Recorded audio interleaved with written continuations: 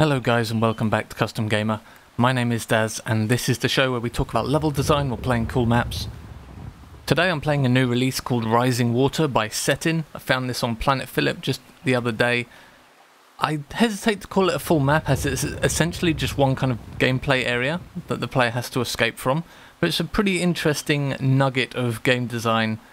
Uh, it has its issues. Uh, the map isn't quite built properly. There's like cube maps missing and things like that and there's a couple of niggles that I really didn't like about it, but overall I think it's quite a cool little piece to look at. And I think with some tweaking it could be really really cool as part of a larger release. So let's go and have a look. Okay, so the premise is that Gordon, in a fit of automotive insanity, has driven his Jeep into a pit full of rising water, hence the map name. Now the cool thing about this pit is that the water slowly damages the player, and slowly rises, so forces the player to move upwards. Uh, we've seen this in a couple of other maps in Half-Life 2. Uh, Jim Partridge's Daylight springs instantly to mind. That was a really nice take on the uh, rising water motif here. So the issues I have with this map is that while the brushwork and displacement work is nice, I mean the map looks nice, unfortunately the cube maps aren't built properly, which is a real shame, it hurts the visuals a lot. But the main issue is that it's really, really hard to find any distinguishable landmarks. Like, it's all just caves and stalagmites, stalactites. There's nothing that really sticks out as like a landmark, like, okay, I'm here, I understand this space. And uh, if I fall down, which inevitably will happen on your first playthrough probably, you can get your bearings very, very quickly.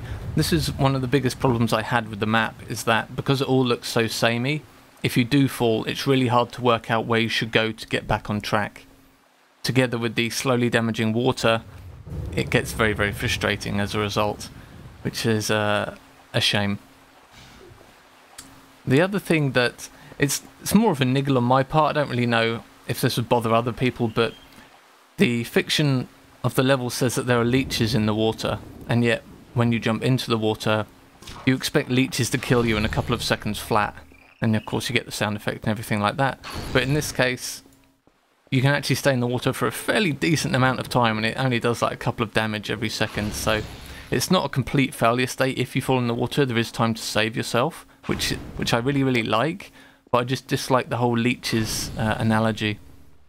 Funnily enough I think the the kind of fix for this would actually make more sense is something like perhaps the buggy knocked into an electricity pylon on the way past and the electricity pylon has fallen into the water because then you can have a shock damage type instead of leeches you know. I think that would just make more sense and you'd actually be able to add some more detail to the map like the light pole at the top with kind of electricity pylons dangling down. And again that would serve as a landmark to actually orient the player if they fall down.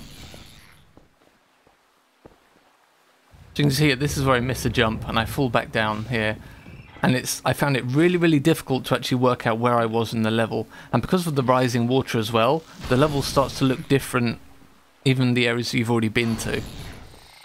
So again really really strong landmarks would help a lot here. Like perhaps if there'd been some kind of structure at the top as well which had started to fall in and kind of rested against various areas as it was filling with water. So you could kind of tell you know, the depth that you're at just by looking at some visuals in the map around you. Because right now I'm completely lost. I don't know where to go to get back on track.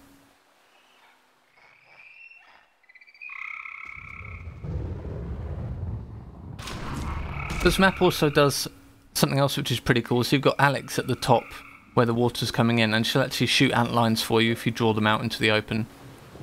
She doesn't quite have a decent enough angle, kind of line of sight for, for it to be really, really helpful, but it's a nice idea nonetheless. I think it would have been nice if she'd actually walk around the edge of the pit to actually get decent kind of line of sight on antlions for you, depending on where the player is. You could have, you could set up some triggers around the sides. So when the player walks into one, she'll move around and you know have a better line of sight to help you out. Because there are quite a few antlions here, and you only have a gravity gun. Once you get to the end, that's it.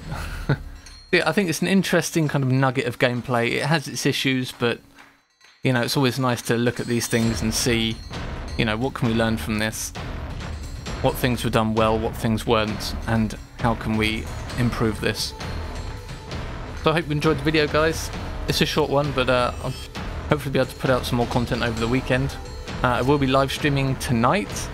What is it, the 4th? Uh, doing some Half-Life 2 maps and possibly some Quake stuff as well, and probably another stream on Saturday for the Honey map pack which is coming out for Quake. So I'll see you next time.